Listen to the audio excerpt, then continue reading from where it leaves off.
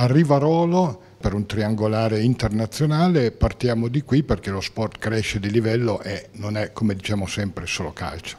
Beh, è un grande sforzo organizzativo mm, della Rembucan di Rivarolo ma anche della Ski Italia che con questa gara dimostra la vocazione e la capacità di organizzare eventi di natura internazionale. E a questo proposito andiamo avanti col ciclismo giovanile, con sport eh, di alto livello, porteremo in Canavese due gare di campionato italiano femminile molto interessanti perché saranno, coinvolgeranno anche le residenze Sabaude e insieme, oltre alla sei giorni internazionale di ciclismo dove introdurremo alcuni, alcune iniziative giovanili e non solo ma degli ospiti da un altro continente, dalla Cina, avremo anche il campionato italiano giovanile su pista, una gara molto importante per il settore giovanile in Italia e da tanti anni che manca in Piemonte. Questo con l'obiettivo di valorizzare anche un impianto che proprio l'anno scorso abbiamo inaugurato, ristrutturato con un importante finanziamento regionale.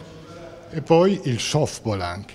E poi anche altre discipline, non ci fermiamo mai, ci saranno gli europei di softball che coinvolgeranno la loggia eh, avigliana, un campionato europeo che anche questo mancava all'appello da tanti anni e che grazie a Regione Piemonte si è reintrodotto. Per poi andare avanti su altre discipline ancora, ci saranno i, i mondiali di scherma eh, quest'inverno, la, la, prossima stagione e, e ci saranno anche altre emozioni che andremo a ripercorrere strada facendo.